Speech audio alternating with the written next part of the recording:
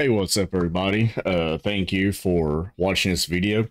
Uh, today we're going to go over the uh, stable controller IDs, which is also better known as the uh, CTLR file.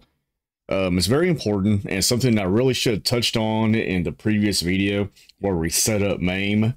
Um, what this does is going to keep your joysticks, controllers, whatever you have plugged into your MAME in a stable position. So the player one is always going to be player one. Your player two is always going to be player two.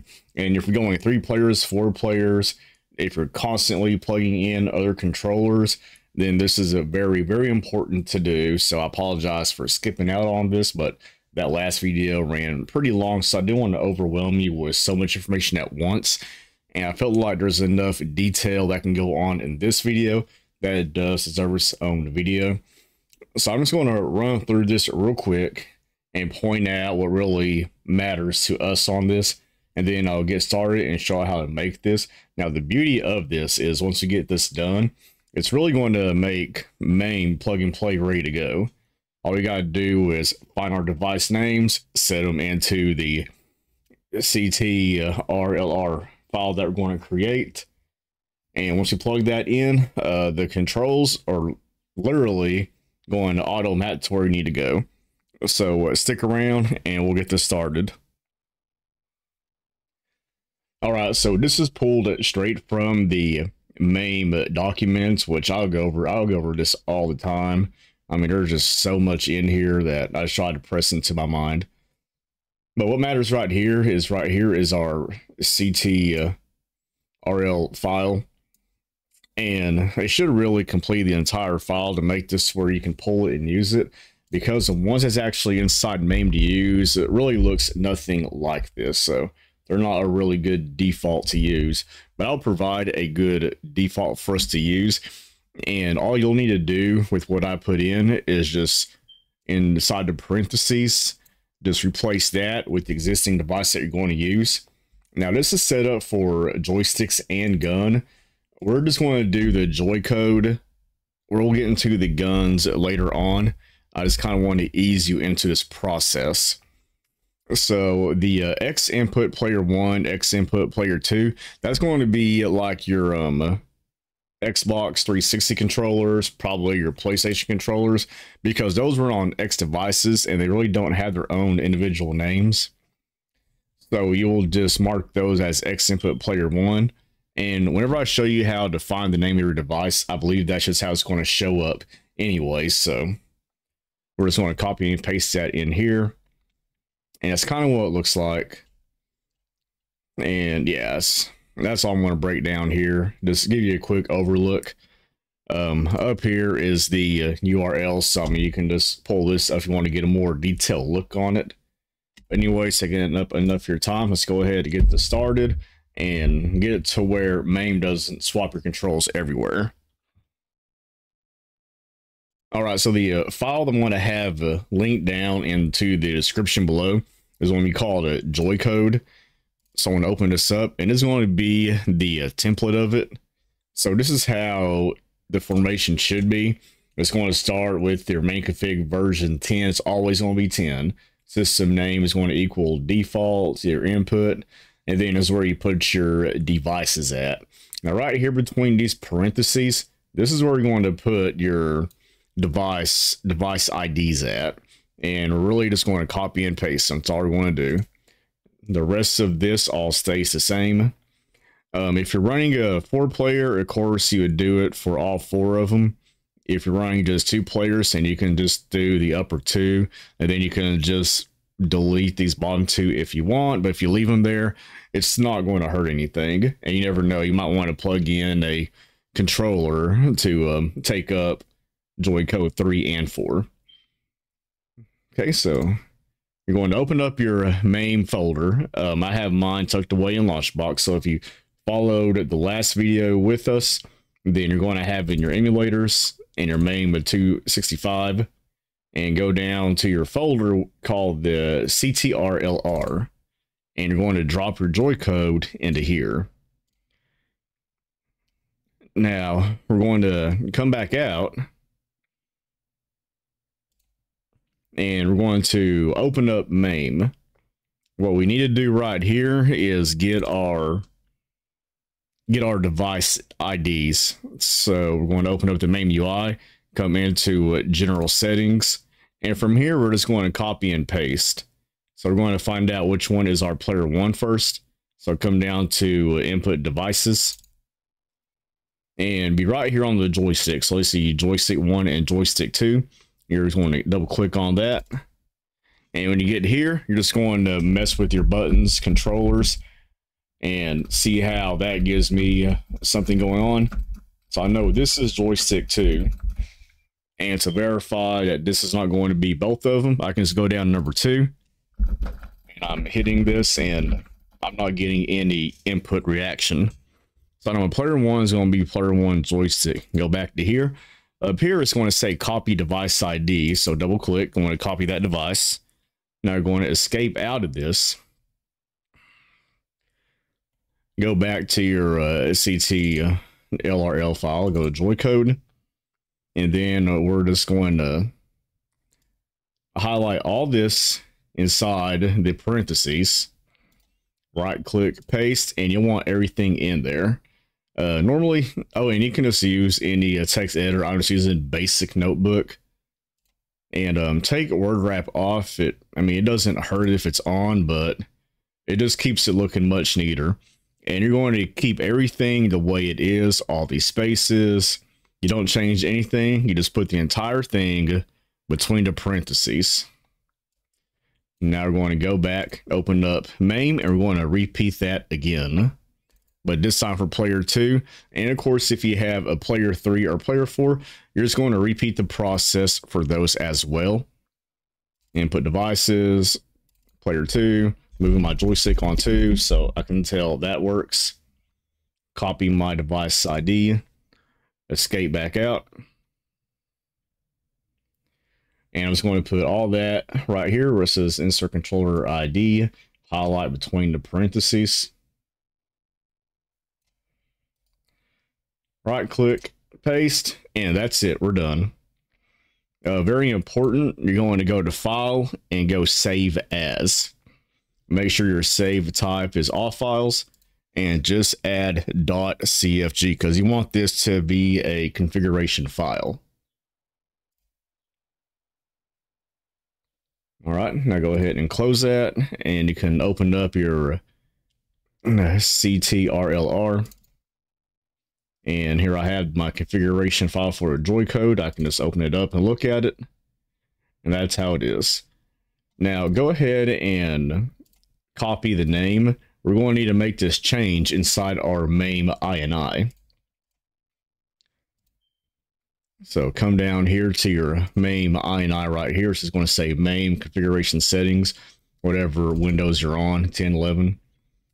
Scroll all the way down and you're going to see core input options. If you can read the line, it's going to be line 129. Just highlight that. I think by default, it's just going to be space, so be nothing there. Space, paste it, got the joy code in there. So now the configuration file knows that it wants the joy code CTRLR to be our main one. So it's going to be priority over everything. And the only input we have there is just our controller order. Now we can go deeper into specialized buttons, but that'll be for another video. This right here will just make sure your player one stay player one and your buttons will always stay the same. Okay, uh, go into our MAME now. Actually, we're going to uh, delete any uh, previous buttons we had programmed earlier. So we're going to go to your CFG and you want to have a default line right here. So it's going, it's going to delete it.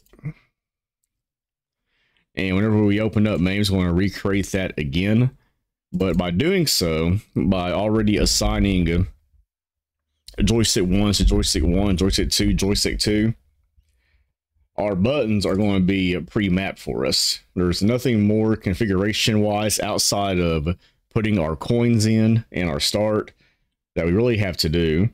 And I'll show you. So you go down to uh, input assignments, player one controls, and over here, joystick one's already up, down, etc.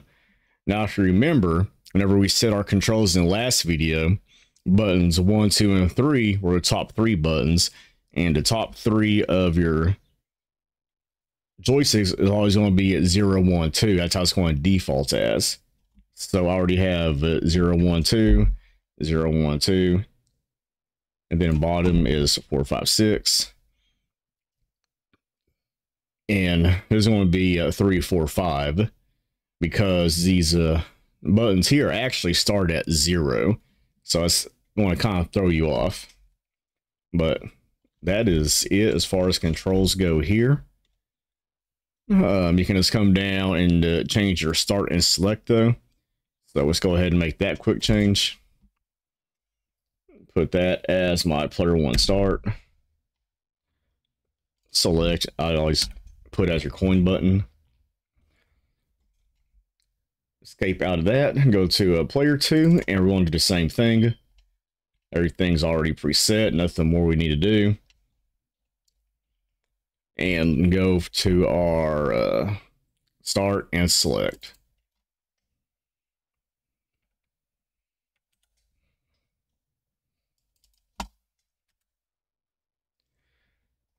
All right, I think I got my start and select backwards over here. So let me redo that. Yeah, I did. Oh, and if you do mess up on your buttons, just hit the uh, delete button and it's going to put it back at a none state. All right, now we're going to need to make uh, another change. We're going to go into other controls and we'll have to set our player one and two start again. Also, if you're on a four player, then of course you'll do it all the way to four player. So that's good. That's good. Get our coin.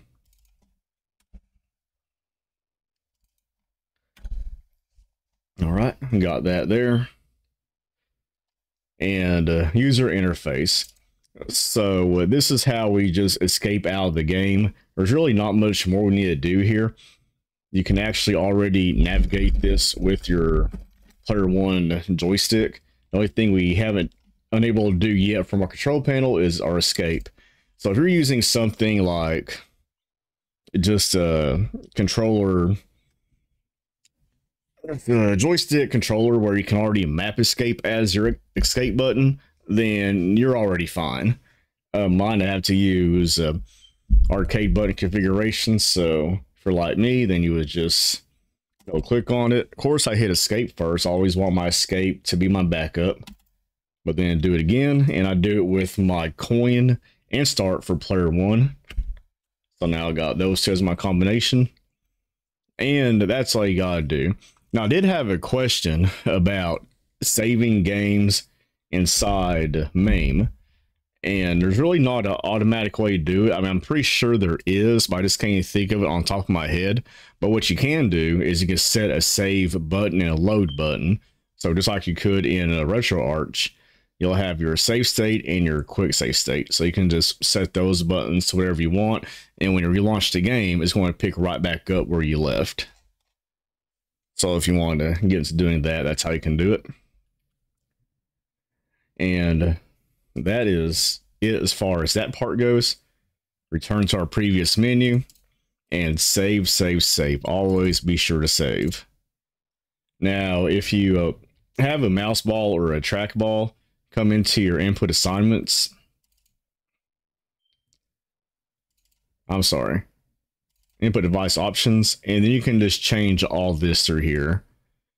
So I'm on mouse. I'm just going to switch this to mouse, mouse, and of course that's already mouse. And I'll leave that for now. And if you don't do that, your uh, mouse is not going to activate in games like Centipede or Marble Madness or anything else you want to use that for. And save, save, save, save your settings so you don't have to do this all over again. All right, go ahead and hit escape. And uh, one more thing that I like to do, I already have my buttons set up and I, I just kind of like to ensure that nothing gets messed up. So you can set your uh, default, your uh, default config file to read only. So all these right here, just ensure it stays this way. I just right click it and set it to uh, read only because, you know, MAME can get pretty finicky at times when it shouldn't be. And this may be an overkill, but I'd rather have an overkill than do all this over again. Now, if you do need to redo the buttons in your uh, default, you'll have to come back and map this as undefaulted or as as not read only. Okay, now let's go ahead and do a quick test. So I'm just going to open up one of these MAME games. And of course, a good way to test is always Street Fighter. If everything runs good on the line as it needs to, then I know my controls are set up the way they need to be. And Champion Edition's always been my favorite. And I think it's just more of a nostalgic value for it. So get through our warning. Um, remember, kids, say no to drugs. I don't know if this version has that.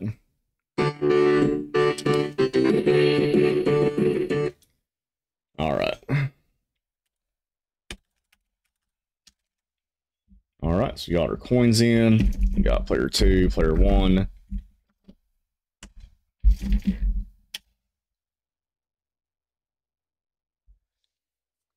All right, so we already know our coins are good. Our star's good. Weak punch, medium punch, strong punch, weak kick, medium kick, strong kick. Over here, punch. All right, and everything looks good. Now, for other games that are not Street Fighter style, uh, Mortal Kombat, you will need to go into the game and change the button mapping for that. I think they have one of the block buttons where the low kick is, so all you would do is just flop those around. Um, any other games, your top two and three buttons are going to be those games' priorities. So just keep that in mind. And anyways, that is it. Um, we'll go into more detail on the CTRLR stuff we can do later on. We can custom map it for Neo Geo. We can custom map it for other BIOS, other sources or just other system manufacturers. I mean, we can go real deep into it. But this will definitely take care of the issue that a lot of people is going to have, and that is just MAME swapping stuff around on you. So just this little bit right here will keep all that from happening. Again, the template's going to be in the description below. So anyways, I hope this helped you out. If it did, you know what to do. Like, share, subscribe, and definitely share with other people. If you think this can help somebody if it helped you out it might help them out and all the views counts and the hours watched always helps me. Anyways i'll catch you all next time and you have a great day